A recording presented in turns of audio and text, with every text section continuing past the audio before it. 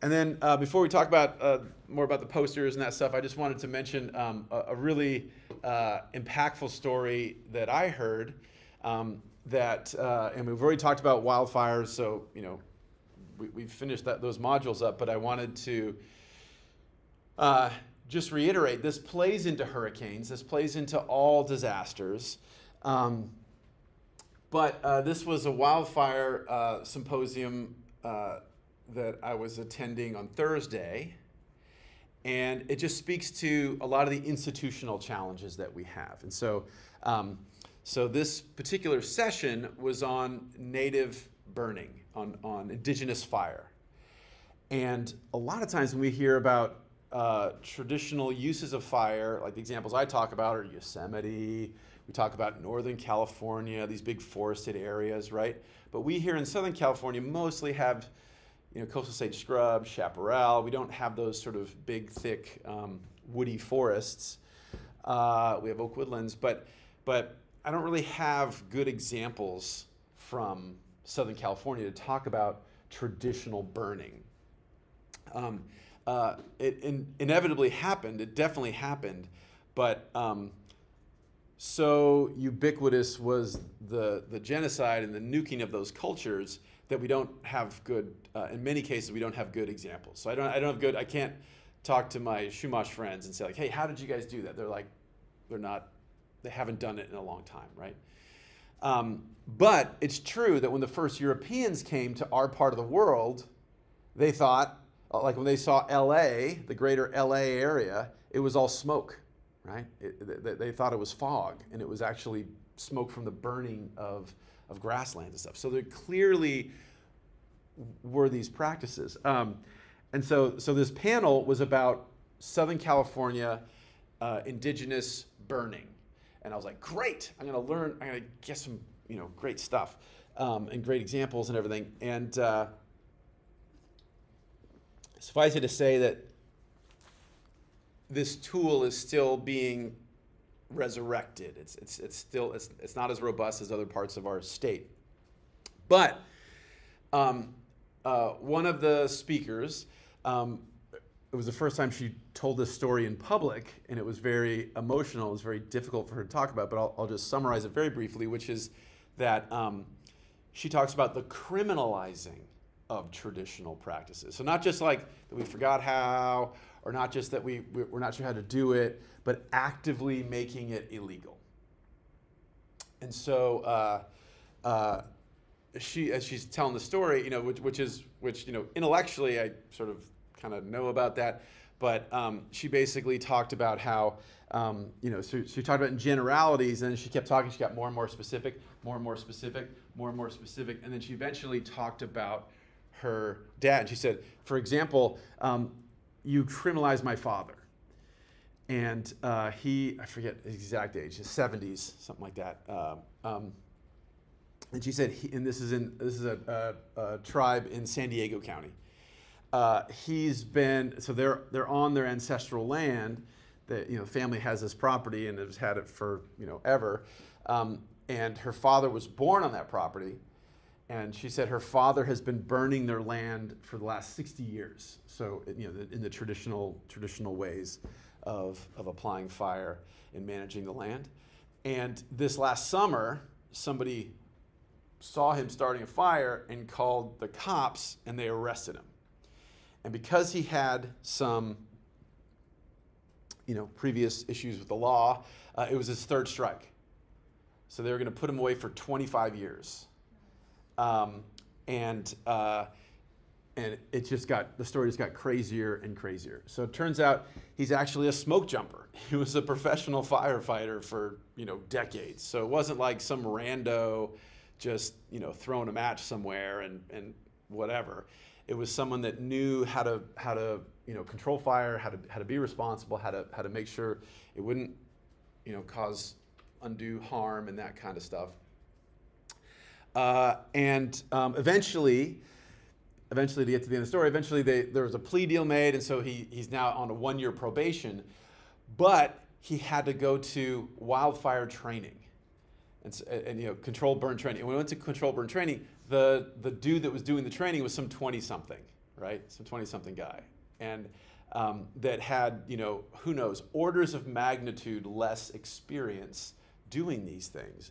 And so you talk about how, how difficult that is, you know, on so many levels, but psychologically, uh, legally, uh, culturally, all that kind of stuff. And, and uh, the speaker went on to say that, you know, she doesn't need a permit for her songs. She doesn't need a permit for, um, you know, to gather traditional foods. Like none of these things that, that her, her people do require, you know, quote unquote government approval, except for fire.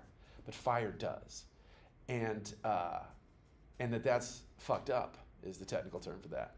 Including the fact that anybody in, in that part of San Diego County can get a slash pile, a slash pile, so he cuts down some brush, slash pile burn permit online, like instantly. Like, you, like, hey, I just I just did a bunch of clearing of my, of uh, you know, made some wildfire breaks. I want to burn this. Click, click, click, click, click. Hey, this is who I am. Click, click, boom, and you can burn it with no training, with no experience, whatever. And so, so there's the, the, the fundamental injustice and and just stupidity and grossness of all that.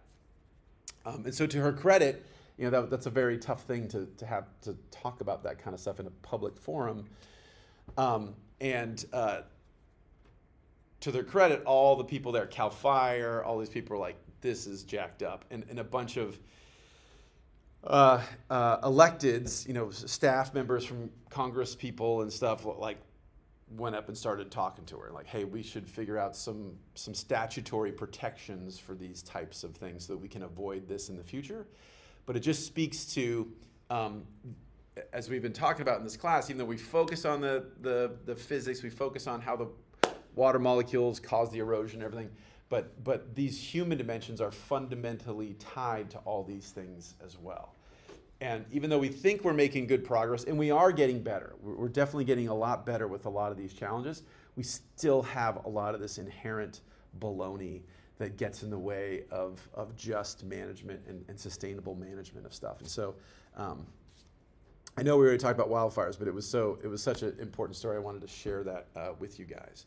Um, and uh, long story short, you're starting to you know watch the videos or, or, or read the stuff about Hurricane Katrina very similar things happened in Katrina, right? Very similar things where, where people that did traditional stuff were, were suddenly criminalized and, and people just trying to survive were, were, you know, shot and all kinds of horrible crap. Uh, so, so these things are fundamental with when we talk about disasters. These things should not be separated. Um, and these things need to be addressed just like we need to address the, the, the structural soundness of our buildings we also need to address the, the social structures that, that make us more or less sustainable, more or less rigorous. Okay. Um, okay.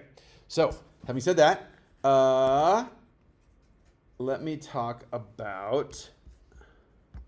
Uh, let's talk a little bit about the logistics of this of this stuff. Um, firstly, do you guys have any questions about this case study? I, I, I think everybody's given me their they're subject. Okay, so it's the same, the, the same broad things, just like we did before, right? So um, you want we want to quantify stuff. Don't say a lot of people did this or some people did this. It's like like you know 452 people passed away or or you know X you know extent of houses were damaged or uh, you know X dollars of, of impact and cite the source and cite the source. Um, uh, here, though, you can do, but we, do, but the key thing with a poster, though, as opposed to the uh, a text-based report, is that we have limited space, and that's by design.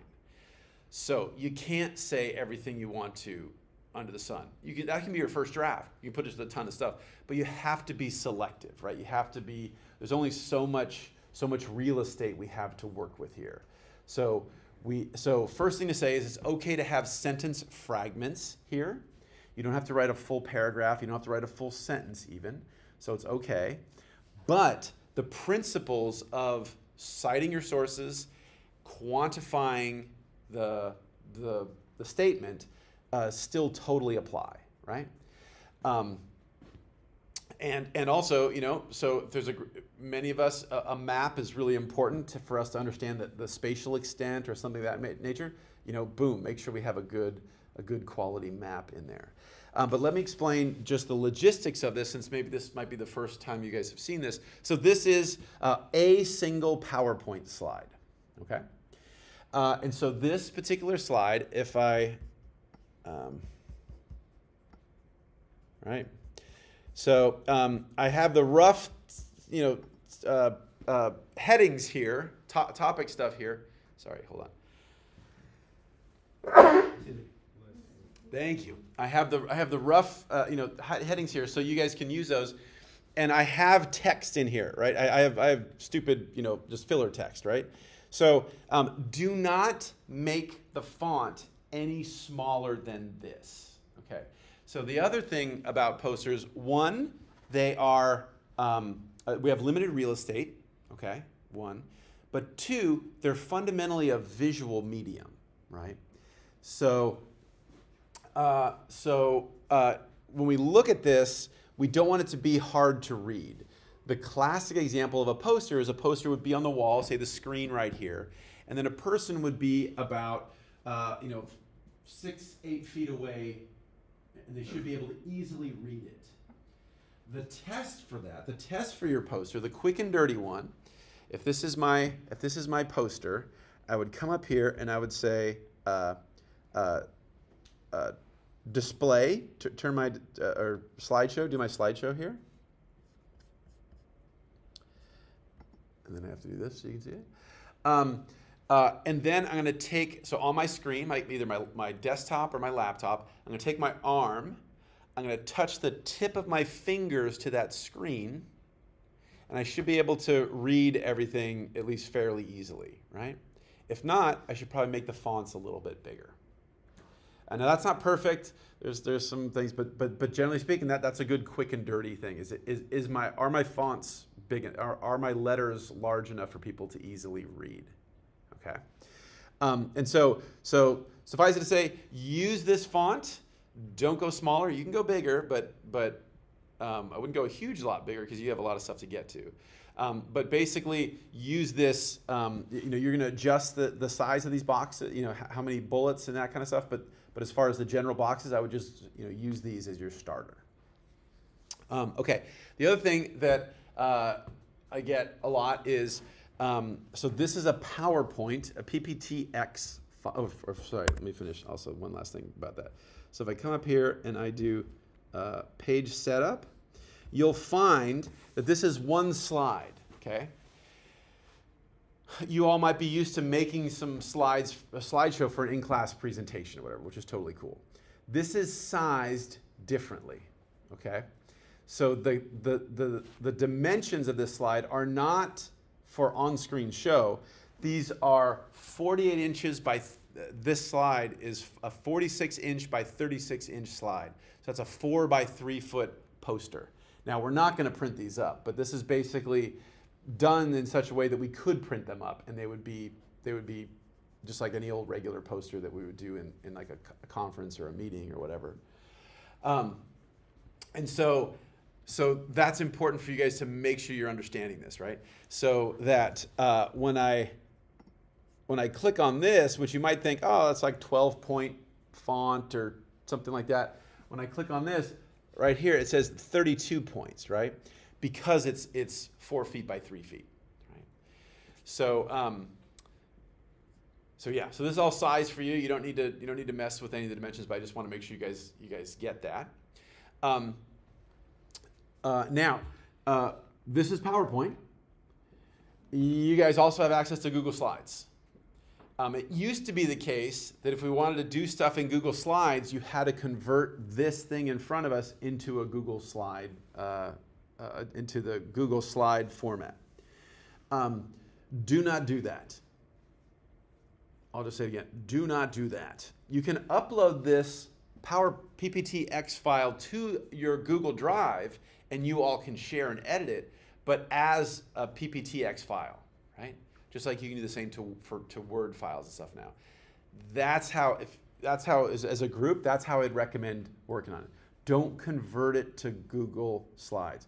Google Slides will almost always screws up these things.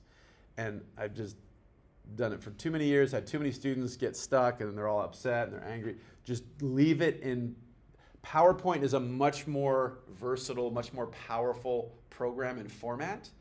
Google Slides copied PowerPoint. And so just about everything that Google Slides does, they had to license from Microsoft. And so as a consequence, they didn't license everything. So, so PowerPoint is still a much more diverse, much more, um, many more ways to, to get to a particular solution than you can in Google Slides. And so so uh, again, the Google the Google Drive is a fantastic tool for collaborating and, and, having us all be able to to do the the edits or whatever. The other one I would just say is that um, sometimes you guys don't have the Microsoft Office suite on your computer, and you use the sort of online version through um, like OneDrive or whatever.